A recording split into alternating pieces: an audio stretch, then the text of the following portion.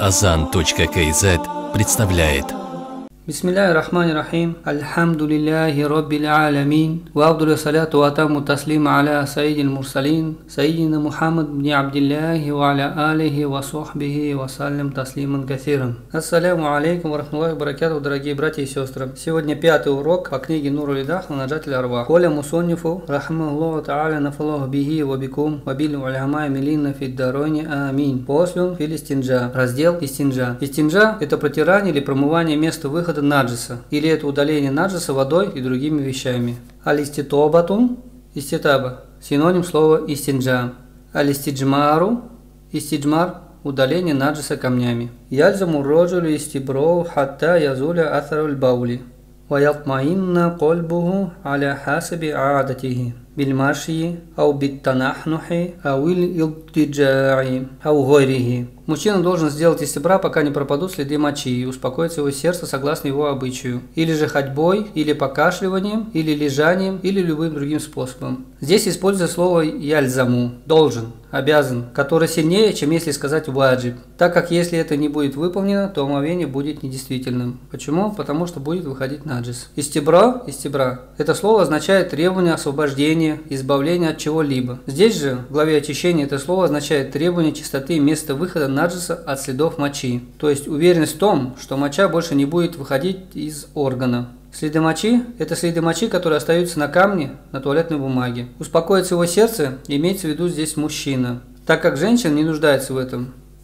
Женщина после того, как справит малую нужду, немного подождет, посидит и затем может совершать омовение. Спокойствие в том, что моча перестала выходить, достигается разными способами, и поэтому автор привел некоторые из них. Согласно его обычаю, или же ходьбой, или покашливанием, или лежанием, или любым другим способом. Имеется в виду лежать на правом боку, или другими способами, как походить, или попрыгать, или выдавливать мочу из полового органа, и так далее и тому подобное. Валя яджузу лягу шуру филь вуду, хатта ятмаинна безавали рошхиль баули. И нельзя ему приступать к совершению омовения, пока он не успокоится в том, что выделение мочи прекратилось, так как одним из условий действительности омовения является прекращение выделения, прекращение выхода мочи, выхода того, что нарушает омовение. Если во время совершения омовения будет капать моча или будут выходить газы, то омовение будет считаться недействительным. Валистинжау суннатун мин наджасин яхраджу минас сабилейни малям махраджа. Истинджа является сунной после наджиса, который выходит из двух путей, пока он не превысит границы места выхода, то есть полового органа или заднего прохода. Совершение стинджа в основе является сунной муаккада, то есть сильная, бесспорная сунна для мужчин и для женщин. Так как посланник Аллаха, да благословит Аллах и приветствует, постоянно совершал ее после наджиса, то есть имеющую форму, так как газа не является наджисом, согласно более правильному мнению, и поэтому истинджа после выхода газов не нужно делать. Ваин таджава завакяна кодра дирхами ваджаба изалятуху бильма. Если же вы из-за границы, то есть место выхода наджиса, и будет размером с дирхам, то становится ваджибом, обязательным удалять его водой.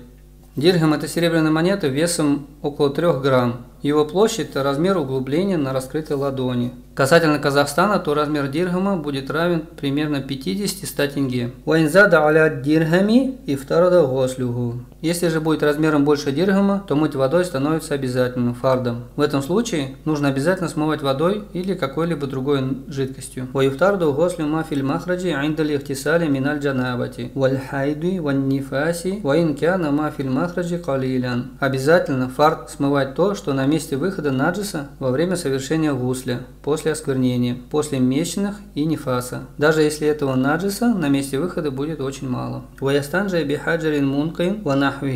гаслю бильмай ахаббу, валь авдалю джаму бейн альмай валь хаджари, фаямсаху тумма якселю, ваяджузу ан ятасара аля альмай авиль хаджари, ва суннату инковуль махалли. Желательно совершать истинджа очищающими камнями и подобными вещами. Мыть водой желательнее, но лучше всего объединить между камнями и водой. Вначале протирать камнями, а затем мыть водой.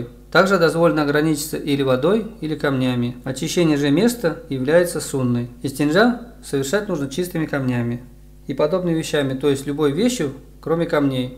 При условии, что, конечно же, эти вещи будут пригодны для очищения и не являются ценными и нужными. Мыть водой, конечно же, желательнее, потому что камни уменьшают количество наджиса, а вода его полностью смывает. Исходя из этого, первое.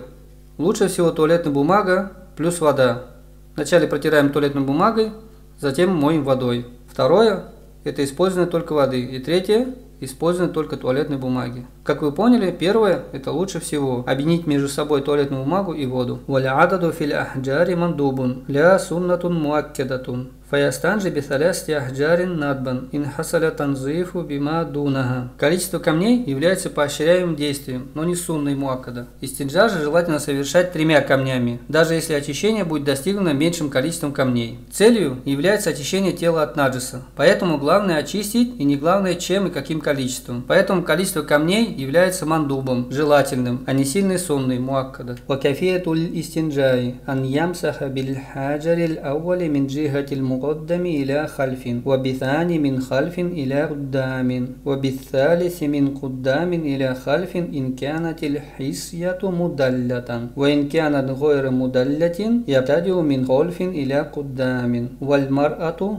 تبتدئ من قدام إلى خلف خشية تلويث فرجها Способ совершения стинджа камнями, то есть. Протирается первым камнем спереди назад, вторым камнем сзади вперед, третьим же камнем спереди назад, если его мошонка висит. Если же она не сильно висит, то начинает сзади вперед. Женщина же начинает спереди и проводит назад, опасаясь загрязнения полового органа все три раза.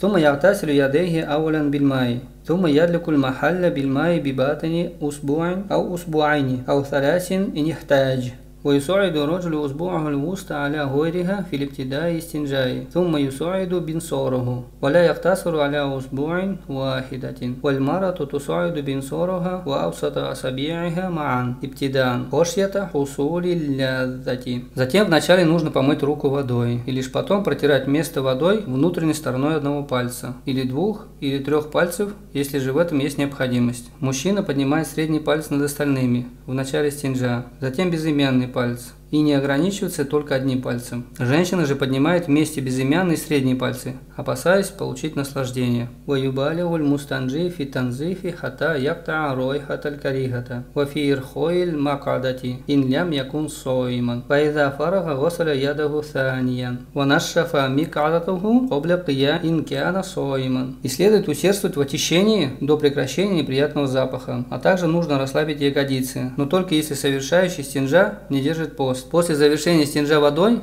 следует вторично вымыть руку, а постящемуся нужно вытереть ягодицы, прежде чем встанет, если он постится, для предостережения попадания воды внутрь тела. Вафигадаль кодри кифая, Аллаху муафик лиль хидая. На этом мы заканчиваем с вами пятый урок о книге Нуру Лидоха Нажатель Арвах. До скорых встреч. Ассаляму алейкум ва рахматуллахи дорогие братья и сестры.